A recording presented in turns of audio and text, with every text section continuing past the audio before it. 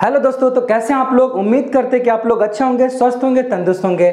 आज हम फिर से पीरियोडिक टेबल का नेक्स्ट पार्ट लेके आ चुके हैं और यहाँ पर हम जानने वाले हैं कि पीरियोडिक टेबल में कौन सा ग्रुप में कौन सा एलिमेंट रहता है? S block P block D block F block है क्या आखिर? इसमें किस तरह के एलिमेंट होते हैं? मेटल किधर? नॉन मेटल किधर? मेटलॉइड किधर रहते हैं? इसके बारे में हम लोग आज क्या करने वाले हैं? फुल डिटेल बता करने वाले हैं। आप लोग ने ये इलेवेंथ का ही एक चैप्टर है, जहाँ पे हम लोग पढ़ते किसका एलिमेंट का क्लासिफिकेशन ऑफ़ एलिमेंट जो होता है, उसके बारे में पढ़ते हैं। एक चैप्टर है एटॉमिक स्ट्रक्चर से एटॉमिक स्ट्रक्चर पढ़ते उसके बाद ये सब स्टार्ट होता है। ये आपका इलेवेंथ का इनऑर्गेनिक केमिस्ट्री है, उसका ये चैप्टर है। जहाँ से इसी को हम लोग को इनगोरिक इनऑर्गेनिक जो आपका आता है, अकार्बनिक जो रसायन आता है, यहीं से स्टार्ट होता है इलेवेंथ में, अगर देखा जाए तो। ठीक है? अच्छा इससे पहले हम लोग, आप पढ़े भी होंगे, परमाणु संरचना एटॉमिक स्ट्रक्चर जो इलेवेंथ का एक चैप्टर है, बहुत बहुत अच्छा चैप्टर है, बहुत बड़ा चैप्टर है। इसमें आपने पढ़ा होगा, उससे रिलेट करके हम क्या करेंगे? आज बहुत बेहतरीन तरह से आपको बताने वाले हैं, ठीक है? तो थोड़ा सा यहाँ पर ध्यान रखिएगा। जैसे आपको ये मालूम होना चाहिए कि जैसे ये क्या होता है सेंटर सेंटर करने का मतलब क्या होता है, नाभिक नाभिक करने का मतलब निकोलियस ठीक है? यहाँ निकोलियस है निकोलियस में कौन होता है बाबू? आपको मालूम होगा इलेक्ट्रॉन और प्रोटॉन रहता है। इसका मतलब सर प्रोटॉन और न्यूट्रॉन रहता है। इसका मतलब इलेक्ट्रॉन कहाँ रहता है? तो इलेक्ट्रॉन इसके चारों तरफ़ क्या करता है? एक सर्टेन पाथ पर, एक निश्चित पाथ पर क्या करता है? सर्कुलर में क्या करता है? इसके चारों तरफ़ क्या करता है? चक्कर काटता है। इलेक्ट्रॉन ऐसे करके चक्कर काटता है। अभी तक का हम लोग के पास जितना एलिमेंट का खोज किया गया गया है। अभी लगभग एक के आसपास हम लोग खोज किया गया है। इसके कारण, इसके आधार पे साइंटिस्ट ने अभी तक इसका सिर्फ़ टोटल चार सेल मतलब चार कक्षा का ही यहाँ पे हम लोग का क्या किया, डिस्कस किया। कितना कक्षा का टोटल? चार कक्षा का ही डिस्कस किया है। तीन हो गया, ये चौथा कक्षा हो गया। टोटल चार कक्षा का डिस्कस किया ठीक है? कोई पूछा क्यों चार कक्षा का डिस्कस किया इसलिए क्योंकि हम लोग का चार कक्षा में 120 एलिमेंट तक को रखने की क्षमता होती है, लेकिन हम लोग खोज अभी 118 हुआ है, दो तो एक्स्ट्रा ही हम लोग करके रखे हुए हैं, इसलिए किए फिर जैसे जैसे फ्यूचर में एलिमेंट का खोज होगा, तत्वों का खोज होगा वैसे वैसे इसका क्या होगा? और भी ऑर्बिट बढ़ते जाएगा वैसे वैसे सबसेल की संख्या भी बढ़ते जाएगा, ठीक है? इतना आपको मालूम होना चाहिए। जैसे देखिए, पहला जो हम लोग का जो फ़र्स्ट ऑर्बिट था, इसे हम लोग क्या बोलते हैं? फ़र्स्ट जब ऑर्बिट है ना, ये पहला ऑर्बिट है। पहला ऑर्बिट को हम लोग सेल कहते हैं। तो कौन सा फ़र्स्ट सेल है ये? उसको के बोलते हैं, अगला को एल अगला को एम अगला को एन तो हम लोग के पास टोटल अभी तक चार क्या होते हैं हम लोग के पास? चार सेल होते हैं। कितने सेल चार सेल होते हैं। और सब सेल भी कितने होते हैं? जितना सेल होता है, उतना ही सब सेल होता है। याद रखेगा जितना सब सेल की संख्या, उतना सब सेल की संख्या होता है। तो इसका मतलब यहाँ पर सेल कितना चार। तो चार सब सेल है। इसको हम लोग क्या करते हैं? बोर ब्यूरी साहब थे, जो नेल्स बोर्ड थे, उनके द्वारा ये बताया गया था बेहतरीन तरीके से कि टू एन स्क्वायर इसका मतलब क्या होता है कि number of electrons number of electrons in N orbit कोई भी ऑर्बिट में, किसी भी ऑर्बिट में, या कोई भी सेल में कितना इलेक्ट्रॉन अधिकतम रह सकता है, यह आपका इस फॉर्मूला के थ्रू ये बोर्ड साहब का दिया फॉर्मूला है, इसके थ्रू हम निकाल सकते हैं। जैसे यहाँ पे, मान लीजिए, अगर एन बराबर वन रखेंगे मतलब पहली कक्षा के का बात करेंगे तो यहाँ पे इलेक्ट्रॉन की संख्या, यहाँ वन रखिए टू आएगा। सिर्फ़ दो ही इलेक्ट्रॉन होगा। अगर एन बराबर टू रखेंगे तो इलेक्ट्रॉन की संख्या आठ हो जाएगा। इसी तरह से यहाँ पे हम लोग क्या करेंगे एन बराबर अगर थ्री रखेंगे तो इलेक्ट्रॉन की संख्या कितना होगा? देख लिए, दो, आठ।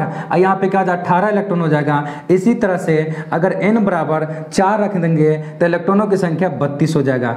इसका मतलब ये हुआ कि पहली कक्षा में मतलब फ़र्स्ट ऑर्बिट में अधिकतम इलेक्ट्रॉन दो ही रह सकता है। लेकिन जो नेक्स्ट अगला जो अलगा सॉरी नेक्स्ट जो हम लोग का, ये क्या है, ऑर्बिट है, जिसको हम लोग अगला सेल कह सकते हैं, ये है आपका एल उसमें अधिकतम उसमें नहीं यहाँ तक। पहले में दो इलेक्ट्रॉन और यहाँ से लेके यहाँ तक, पहला और दूसरा, दोनों मिला के टोटल इलेक्ट्रॉन की संख्या कितना होगा? आठ इलेक्ट्रॉन होगा।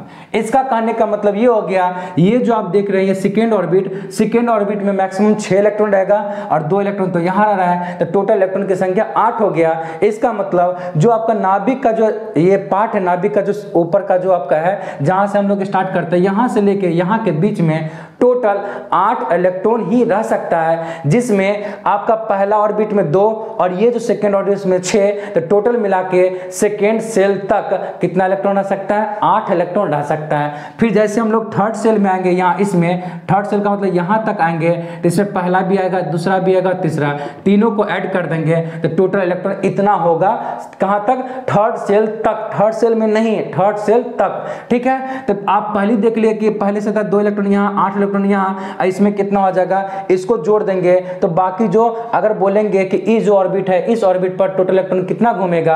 तो इस पर सिर्फ़ टोटल इलेक्ट्रॉन दस इलेक्ट्रॉन घूमेगा। इस पर, इसी तरह से यहाँ पे सेकेंड है, इस पर सिर्फ़ छह इलेक्ट्रॉन घूमेगा और यहाँ दो इलेक्ट्रॉन घूमेगा। टोटल करिएगा तो यहाँ पे दो इलेक्ट्रॉन, यहाँ पे छह इलेक्ट्रॉन, कितना हो गया? छह, दो, आठ और दस, अट्ठारह। इसलिए थर्ड सेल तक कितना इलेक्ट्रॉन रह सकता? है अट्ठारह। उसी तरह से अगला में बत्तीस रहेगा। अगर इसमें करके देखिएगा तो यहाँ पे चौदह इलेक्ट्रॉन, चौथा जो ऑर्बिट है, उसमें अधिकतम, चौथा ऑर्बिट में अधिकतम इलेक्ट्रॉन की संख्या चौदह रह सकता है। लेकिन अगर कोई पूछे चौथा सेल तक इलेक्ट्रॉन की संख्या कितना होगा तो सबको जोड़ दीजिए किसको? सबको जोड़ दीजिए। किसको? पहला ऑर्बिट को भी जोड़ दीजिए। सॉरी इसमें इसको ये आ गया, यहाँ से जोड़िए। इसमें क्या पहला ऑर्बिट भी आ गया? दूसरा भी आ गया, तीसरा भी आ गया, चौथा भी आ गया। सबको जोड़िएगा तो कितना इलेक्ट्रॉन हो जाएगा? बत्तीस इलेक्ट्रॉन हो जाएगा। आ गया समझ में? तो यहाँ हम जो समझा रहे उसको समझने की कोशिश कीजिएगा। जैसे हम लोग जानते हैं, अब यहाँ से समझिए। यहीं से समझिए, देखिए कैसे समझिएगा।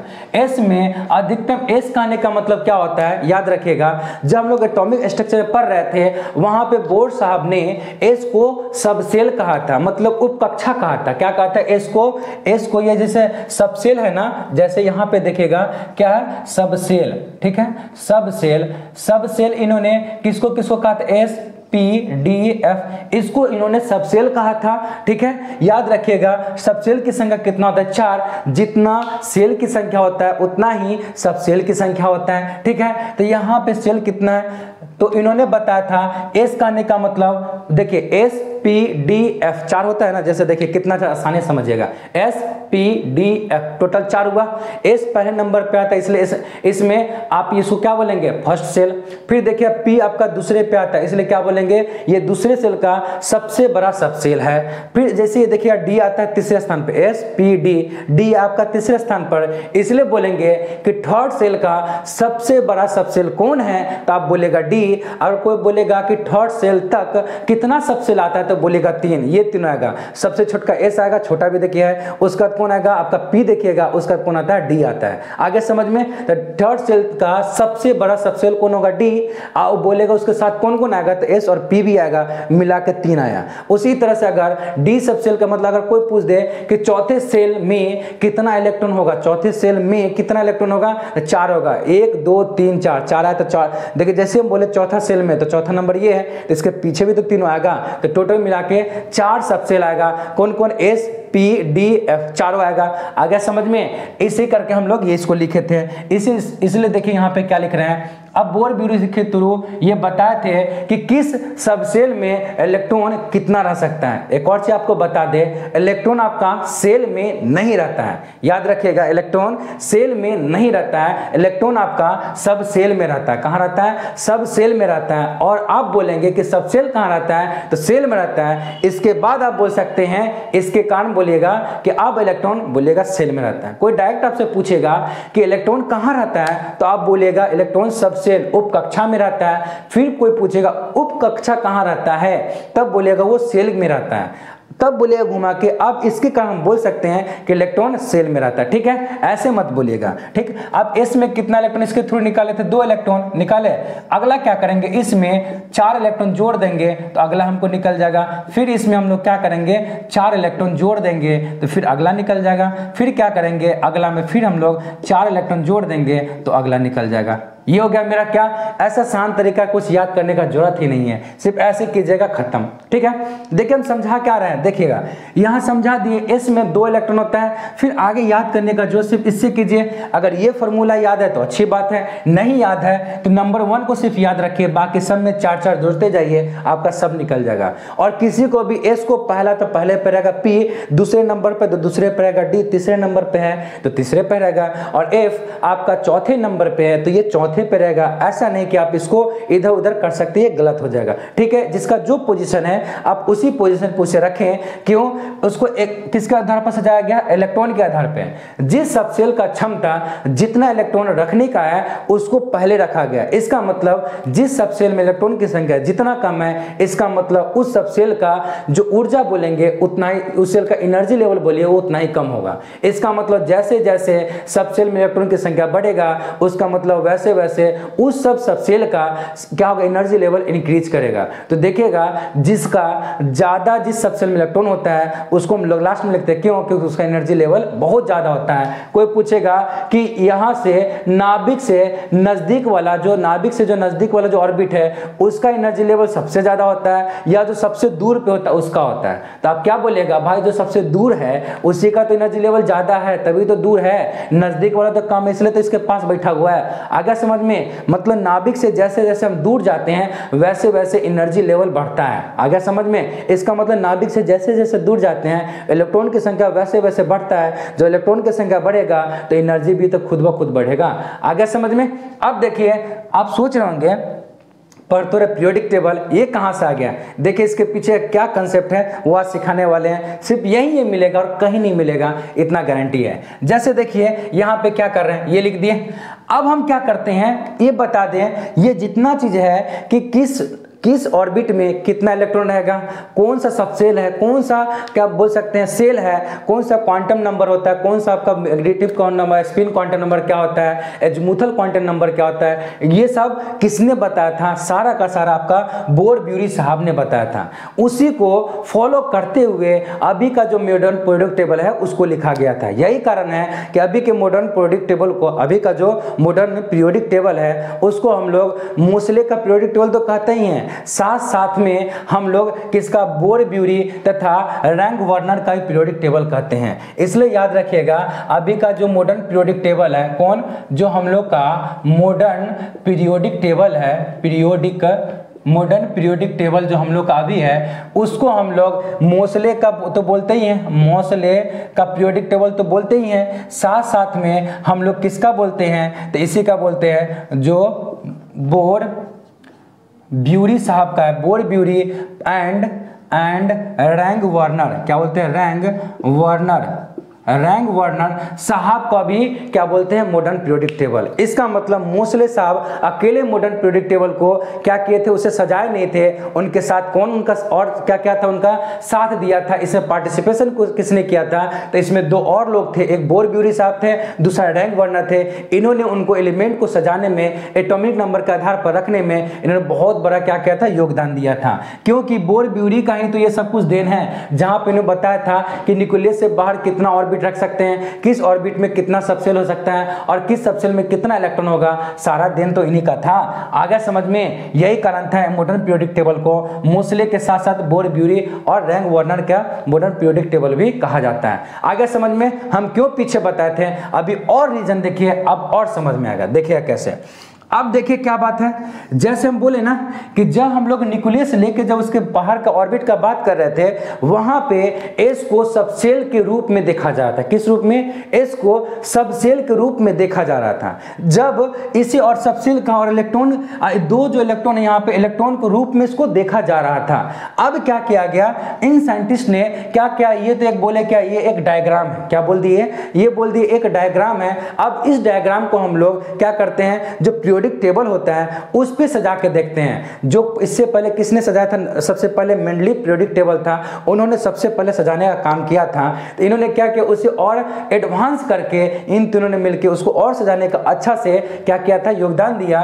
तब उसमें इन्होंने क्या किया? बोला, ऐसे तो हम लोग के पास पहले मालूम है, अब यहाँ इलेक्ट्रॉन भर रहे थे। इसी इलेक्ट्रॉन को हम लोग क्या बोलेंगे? एलिमेंट बोलेंगे। कहा? पीरियोडिक टेबल में इलेक्ट्रॉन को हम लोग एलिमेंट बोलेंगे। क्यों? क्योंकि एलिमेंट एलिमेंट किससे मिल मिलकर बना हुआ इलेक्ट्रॉनिक से तो मिलकर बना हुआ है। इसलिए इन्होंने कहा, क्या क्या? यहाँ पे एलिमेंट यूज़ किया। सॉरी यहाँ पे तो इलेक्ट्रॉन यूज़ किया। जब पीरियोडिक टेबल में गए तो यहाँ जितना आप देख रहे हैं ना, कि जो आपका पहला जो सबसेल है उसमें इतना इलेक्ट्रॉन दूसरा में इतना है, तीसरा में इतना है, ये डिपेंड करता था। किस पे? उसके सबसेल पे डिपेंड करता था। उसी को इन्होंने क्या कहा? पीरियोडिक टेबल में, अभी का जो हम लोग पीरियोडिक टेबल देखते हैं, उसमें इन्होंने इस सबसेल को, क्या बोला? अभी का पीरियोडिक टेबल में इन्होंने इस सबसेल सेल को एस सब सेल को इन्होंने एस ब्लॉक कहा? देखिए, गौर से देखिएगा। क्या कहा?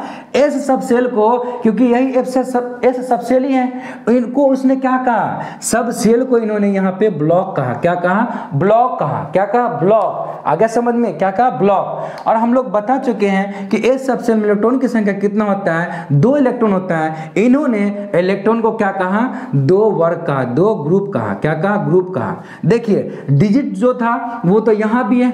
इन्होंने इलेक्ट्रॉन को क्या कहा दिया? ग्रुप कह दिया। यहाँ पे दो इलेक्ट्रॉन है, इसलिए इन्होंने क्या कर दिया? टू ग्रुप्स कर दिया। आगे समझ में कुछ नहीं है, सब कुछ यहीं से उठाया हुआ चीज़ है, इसको सिर्फ़ यहाँ पे इन्होंने सजाने का काम किया था। अगला नंबर देखते हैं। अगला नंबर दूसरा, इसका तो लिख लिए, इसलिए अभी का मॉडर्न पीरियोडिक टेबल देखिएगा, जो पीछे पढ़ा चुके हैं, उसमें इस सबसेल में दो वर्ग रखा गया। क्या बोला? इस सबसेल में दो वर्ग को रखा गया। नंबर वन को हम लोग अल्कली मेटल कहते हैं, दूसरे को अल्कना अर्थ मेटल बोलते हैं। अगला दिन हम उसे हम पढ़ाने वाले हैं। पहले ये हो गया, दो वर्ग हो गया। अगला आप देखिए पी सबसेल का। किसको करते हैं? पी सबसेल नंबर वन देखिएगा, सबसे कम एनर्जी किसका होता है? सबसे कम एनर्जी वाला कौन था? एस सबसेल था, जो नाभिक का सबसे नज़दीक था। यही कारण था कि पीरियोडिक टेबल में सबसे पहले एस को ही सजाया गया था। आगे समझ में? यही कारण एस को सबसे पहले सजाया था। क्यों? क्योंकि यह तुम्हारा नाभिक का सबसे नज़दीक वाला, जो सबसे पहला ऑर्बिट था, वो एस का ही था। इसलिए पीरियोडिक टेबल में भी एस से ही स्टार्ट किया गया था। आगे समझ में? कुछ है, कुछ नहीं है। सिर्फ़ ध्यान देते चलिए। अब पी सबसेल है तो यहाँ पे इन्होंने पी तो पी लिखा सबसेल को इन्होंने क्या बोल दिया? ब्लॉक बोल दिया, ठीक है? और आपको मालूम होना चाहिए यहाँ पे कि जैसे आपका एस में कितना ग्रुप था? एस में आपका देखिएगा, दो ग्रुप है, सेम इन्होंने क्या कहा? यहाँ पे पी में हम लोग देखें, चेक कर चुके कहा यहाँ पे पी में कितना बाबू छः है, इसको हम लोग क्या करें थोड़ा सा इरेज कर देते हैं, जगह थोड़ा मिल जाएगा। आप देखिए इसको भी हटा देते हैं, अब और जगह मिल गया। अब चेक कीजिए पी में यहाँ कितना इलेक्ट्रॉन है बाबू? पी में छह इलेक्ट्रॉन है, इसलिए यहाँ पर छह तो लिखेंगे। इलेक्ट्रॉन को इन्होंने पीरियोडिक टेबल में कहा, क्या कहा था? इलेक्ट्रॉन को इन्होंने पीरियोडिक टेबल में ग्रुप कहा। क्या कहा? है ग्रुप कहा है। तो क्या हो गया? ये ग्रुप्स हो गया। कितना ग्रुप्स हो गया? छह ग्रुप्स हो गया। इसी तरह से हम लोग नेक्स्ट का देखते हैं। नेक्स्ट कौन है? आपका डी सबसेल है। कौन है? डी सबसेल है। आ गया। अच्छा डी तो है डी सबसेल में कितना इलेक्ट्रॉन है बाबू? दस इलेक्ट्रॉन है। अच्छा जो डी है तो डी का तो डी बोलेंगे। और सबसेल को इन्होंने पीरियोडिक टेबल में क्या कहा है? तो इन्होंने इसे ब्लॉक कहा है। क्या कहा इसे? ब्लॉक कहा है। हम लोग जानते हैं डी सबसेल में इलेक्ट्रॉन की संख्या दस होता है। दस तो लिखेंगे, लेकिन इन्होंने पीरियोडिक टेबल में इलेक्ट्रॉन को क्या कहा है? ग्रुप कहा है। क्या कहा बाबू? इसे इन्होंने ग्रुप्स कहा। है आगे समझ में? इसी तरह से मेरा लास्ट नंबर है। लास्ट नंबर को भी हम लोग यहाँ दिखा देते हैं। देख लीजिए। अगला लास्ट जो हम लोग का था, कौन था? हम लोग का एफ़ सबसेल था। कौन था बाबू? एफ़ सबसेल था। एफ़ सबसेल था। एफ़ सबसेल को इन्होंने पीरियोडिक टेबल में क्या बोला? एस ब्लॉक क्या बोला? एफ़ ब्लॉक क्या बोला बाबू इन्होंने? एफ़ ब्लॉक हम लोग जानते हैं कि जो आपका यहाँ चेक कीजिएगा तो एफ़ सबसेल में कितना इलेक्ट्रॉन होता है? चौदह इलेक्ट्रॉन तो इन्होंने चौदह को तो चौदह बोला, लेकिन इलेक्ट्रॉन को इन्होंने क्या बोल दिया? ग्रुप्स बोल दिया। क्या बोल दिया इन्होंने? इलेक्ट्रॉन को ग्रुप्स बोल दिया। तो ऐसे करके क्या हुआ? आपका मॉडर्न पीरियोडिक टेबल का क्या होगा? जगत में निर्माण हुआ। आ गया समझ में? पीरियोडिक टेबल ऐसे ही नहीं बनाया गया था। इन लोग साइंटिस्ट साथ में बैठे इन्हें जो पीछे पढ़ाया गया था, बोर ब्यूरी साहब का जो सिद्धांत था, उसको और मिडलिप साहब का जो पहले से स्ट्रक्चर बना हुआ था, उसको ध्यान में रखते हुए, उसके मद्देनजर रखते हुए, इन्होंने क्या कहा? एक बेहतरीन तरह का पीरियोडिक टेबल का डिज़ाइन किया और वो कैसे कैसे किया? आप देख सकते कहाँ से आया। सारा चीज़ वही है, हल्का सा नाम चेंज किया, सब कुछ उन्होंने वैसे का वैसा ही लिख दिया। आगे समझ में देख सकते हैं कैसे सारा का सारा लिखा हुआ है। इसलिए आप लोग जो एटॉमिक स्ट्रक्चर पढ़ चुके हैं, उनको ये समझ में आएगा। जो नहीं पढ़े, उनको और अच्छे समझ में आएगा क्यों? क्योंकि उनको तो कुछ पहले से आता नहीं है। तो जो हम जो बताएँगे, उनको अच्छे से, पूरे से समझ में आएगा। ठीक है? तो देख लीजिए, ऐसे करके क्या हुआ था? Periodic table, modern periodic table बना था। और हम पिछले क्लास में उसका स्ट्रक्चर बना के दिखा भी चुके हैं। तो देख लीजिए कैसे बना था। तो यहाँ आपसे कोई पूछ सकता है, क्वेश्चन देखिए कितना पूछ सकता है। अच्छा क्वेश्चन बेस, ये बेस हो गया। इससे आप कैसे भी तरह का क्वेश्चन और कैसा भी कंसेप्ट आप किसी को दे सकता है, उसके माइंड को हिला सकते हैं। नंबर वन कोई पूछेगा कि मॉडर्न पीरियोडिक टेबल में जो मॉडर्न कोई जो मॉडर्न पीरियोडिक टेबल पढ़ रहे हैं, उसमें हम लोग ब्लॉक कहाँ से है और ऐसा क्यों हुआ कि आप लोग एस को हम लोग पहले ही रखें, ठीक है? फिर आपको पी को बाद में क्यों रखे? डी को बीच में क्यों रखे? और एफ़ को नीचे क्यों रखे? ये आप बता सकते हैं। फिर ये बताइएगा कि एस सब जो एस ब्लॉक है, उसमें दो वर्ग ही क्यों हुआ? उसमें तीन क्यों नहीं हुआ? आप यहाँ से बता सकते क्यों ऐसा हुआ था? पी में भी क्यों हुआ? डी में क्यों हुआ और एफ़ में ऐसा क्यों हुआ? आप आसानी से इसको सभी को बता सकते हैं। फिर ये बोलिएगा कि आपका स्ट्रक्चर जो है, जो हम लोग का पीरियोडिक टेबल जो अभी का है, इसका स्ट्रक्चर ऐसा डिज़ाइन क्यों किया गया था? तो आप बोल सकते इसके थ्रू हुआ था उसका। कि कहाँ पे वहाँ इलेक्ट्रॉन था, उसको यहाँ पे ग्रुप मान लिया सब सेल था, उसको ब्लॉक मान लिया गया। ऐसे करके किया गया था। आगे समझ में? तो हम लोग क्या करते हैं, आज ना बहुत कुछ ऐसा सीख लिए जो बेसिक जो काम देने वाला है, ठीक है? तो हम लोग क्या करते हैं, आज इसे यहीं तक रखते हैं, हम लोग नेक्स्ट क्लास में मिलेंगे, वहाँ पे क्या करेंगे, दिखाएँगे कि जो एस ब्लॉक में दो पी में छः डी में दस और एफ़ में चौदह ग्रुप है, उसमें इलेक्ट्रॉन कैसे कैसे हम लोग भरते हैं, उसको भी अच्छे सीखेंगे। ये सारा हम लोग का एलेवेंथ का है एलेवेंथ का ये हम क्या करें लेक्चर नंबर सेकेंड आज हम लोग पढ़ लिए। कल हम लोग लेक्चर नंबर थर्ड पढ़ेंगे और बहुत ही बेसिक से बहुत ही हाई डिटेल तक ले जाएँगे। आप नीट का हो जे मेन्स का हो कोई भी लेवल का हो आप आराम से इसका क्वेश्चन डील कर सकते हैं ठीक है? तो आप लोग क्या कीजिएगा तब तक वीडियो को देखिए पीछे जो वीडियो दे, दे रखे हैं उसे जाके देखिए पूरा बेसिक से लेके गए हैं। कहाँ से स्टार्ट हुआ था प्रियोडिक टेबल वहाँ से बताया उसमें। मिडलिप तब ले गए थे आज मोस्टली का बता दिए फिर इसमें और अच्छे से डिटेल से अगले दिन बताएँगे। तो क्या करना आप लोग को? ये तो कर रहे हैं साथ साथ में एक काम आप लोग नहीं कर रहे हैं। क्या? कि वीडियो को फैला नहीं रहे हैं, वीडियो को लाइक नहीं कर रहे हैं और इस चैनल को सब्सक्राइब नहीं कर रहे हैं। तो कृपया आप वो करें, इससे क्या होता मोटिवेट मिलेगा? और अच्छा आपको क्या करें? कंटेंट हम देने का प्रयास करेंगे, लगातार आपके साथ बने रहेंगे, ठीक है? तो आप क्या करते हैं? हम लोग फिर नेक्स्ट मिलते हैं, तब तक के लिए जय हिंद।